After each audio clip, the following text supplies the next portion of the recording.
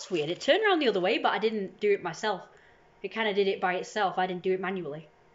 Okay. Anyway, so I want to talk about House of Fluff. So this is that community idea that I've spoke about in a couple of other videos and live streams, whereby it's a community for people who are different, who like to dress different and act different, like whether it be a dog, a child, or goth emo scene, furries, Therians, and pups and everything else. And it's a community where people can either visit or live in, or just chat online because it's going to start out as an online chat community thing, like YouTube or whatever other like communities you can think of. Um, that people can decide. But yeah, so I just want to let you guys know that it's a community whereby everybody can just feel free to be themselves and dress however they want to. And they don't have to worry about prying and judgmental eyes on them when they go out and about and stuff, because you can expect everyone will be dressing differently and they will be expecting you to dress differently, if not just accept it. They expect it even. So, yeah, so I just want to let you know that for this community, of course, if it's going to be one house, we are going to need a few different people that can do like skills for this community. So one of them is obviously cooking. Right now, in my house that I live in now, with my mother, unfortunately, I have to do all the cooking. And if I don't do it or do it wrong in some way, she will shout at me. So it's like, it's kind of messing up with my autonomy a little bit because I would rather be doing stuff like this or doing my creative stuff rather than cooking.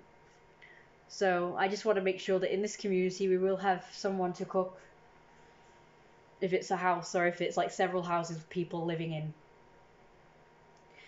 Then I don't know, they can do their own thing, but it would be nice that I could live with someone who could cook stuff for me or if I don't live with them, they could just like make me food and bring it because I don't want like takeaways or like crap food, you know, like um processed food. I want to make sure everything is fresh freshly cooked and homemade because I'm trying to be more healthy and I don't, just don't like to cook. So I want to make sure that when I live on my own finally, especially in this community, that I will have someone who who's willing to provide me with meals, if not live with me and be my cook, but just someone who can cook well and hopefully vegetarian. Because I got quite jealous. Like there is this, uh, there's literally an Instagram profile. I think it's Instagram. Yeah, it is. It, it's called meals my boyfriend cooks for me or something. I thought this girl is so lucky because she's got this boyfriend who cooks for her every single night, and it's always this dead gorgeous gourmet, healthy but very nice food. And I thought that's like that's my freaking dream, is for someone else to be cooking for me every night, so I don't have to think about this stuff. Because I just don't have the brain for this, I get distracted easily, and I'd rather just not be doing it. I can focus on stuff I actually like doing, and even then, like just barely focus. So I need someone to help me with that. I need a freaking assistant. So I need someone who cook me nice meals and, you know, like give them either deliver them to me or just like live with me and do it. And um just assistants to do other things as well just to help me out. Not technically do everything for me, but just to help me out. So that's what we did need into it. Uh, that's what we need in this house of fluff thing. This lovely community. So that's the name of it so far, unless you can think of a different one. Everyone liked House of Fluff, so that's why we went with that one. But yeah, Out of the Wild. Uh, I will think of a, a name, an alternative name. And don't forget, we're doing furry meets and Therian pack as well for people to join.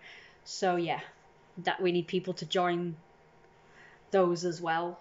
So it would just be like a monthly or regular meet up for furries and Therians and, and whoever else wants to join goths and emos and scenes and stuff like that. People like those. Because it would be nice. I would really love to have a group of friends who were goths or emos or whatever because I've never had that. So all the friends I've ever had have just been normies. And I've never had like a group where we all dress similar. And I've always like fancied the idea of that. It could be all Victorian, like a, a gang of people who dress the Victorian. That would also be cool. So anyway, I guess that's all for now. That's all what I wanted to say. But please do consider joining. We'll have a big online community, as well as a real life one where we meet up regularly, and also one where we li- actually live in an area. So yeah. So don't forget to like, comment, and subscribe, and your ideas as well. Comment your ideas, your opinions, your thoughts Okay, I guess that's all for now. Goodbye for now.